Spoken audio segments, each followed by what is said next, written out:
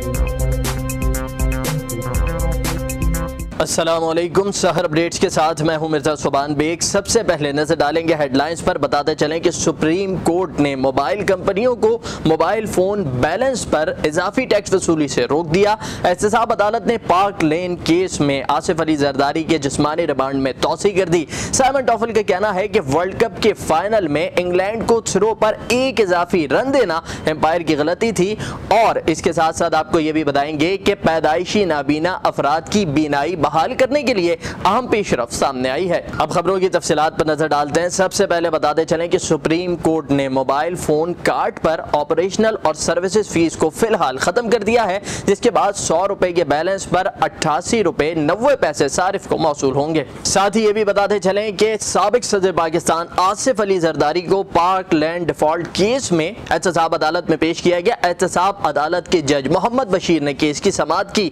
اس موقع کے اوپر نیب کے وکلا کی کی جانب سے آصف علی زرداری کے جسمانی ریمانڈ میں توسیع کی استدعا کی گئی، جسے عدالت نے منصور کرتے ہوئے چودہ روز کی توسیع کر دی، جس کے بعد احتساب عدالت نے سابق صدر پاکستان کو انتیس جولائی کو طلب کیا ہے۔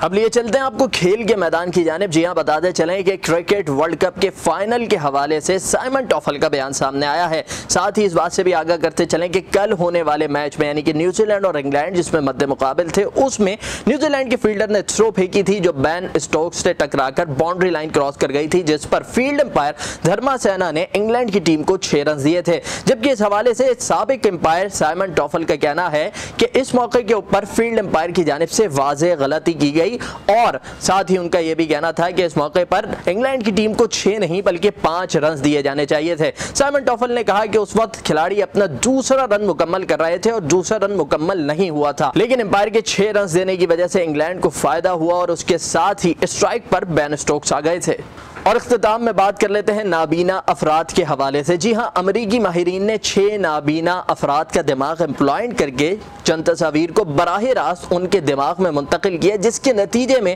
ان افراد کی بینائی جزوی طور پر بحال ہو گئی۔ ماہرین نے تحقیق کے بعد الیکٹرو ڈرس کو دماغ کے اس حصے میں امپلائنٹ کیا جو تصویر دکھانے یا بینائی بحال کرنے کا کام کرتا ہے، جس کے بعد یہ بات سامنے آئی کہ نابینا افراد کو کچھ نہ کچھ نظر آیا اور یہ تمام وہ افراد تھے جو بالکل دیکھنے کی صلاحیت سے محروم تھے۔ اب تک کی عام خبریں اور ان کی تفصیلات آپ نے جانی۔ مزید اپڈیٹس کے لیے آپ جڑے رہیے سہر ڈاٹ ٹی وی کے ساتھ۔